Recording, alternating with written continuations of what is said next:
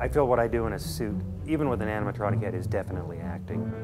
You can put a monster suit on a hanger and film it, and it's going to look pretty, but if it doesn't have life, movement, and character behind it, and an actor's heart, it's going to be a really pretty thing to hang on a hanger.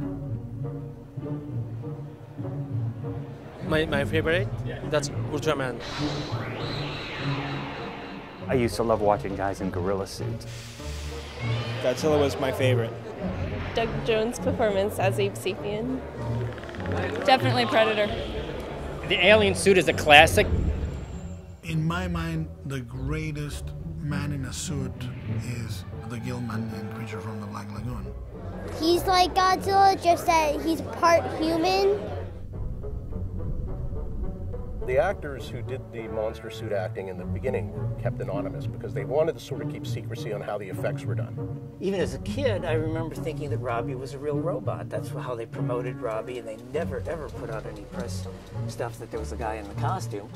People forget there's somebody in there. You stick most people in a giant creature suit, they'll be screaming within 30 seconds. The farther you get from human, the more difficult it's going to be to wear. The physicality of the role is surprisingly demanding. It's important to have a good sense of body awareness, the strength, the flexibility. We just bring it all to the table every time, no matter what role we're doing.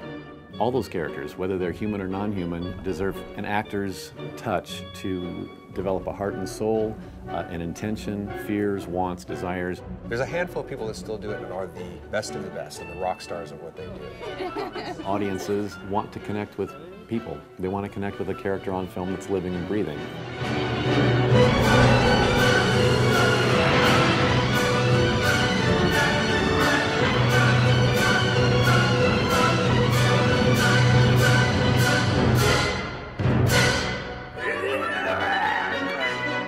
I die under rubber on a, on a, on a Guillermo del Toro film set, that would be a happy way to go for me.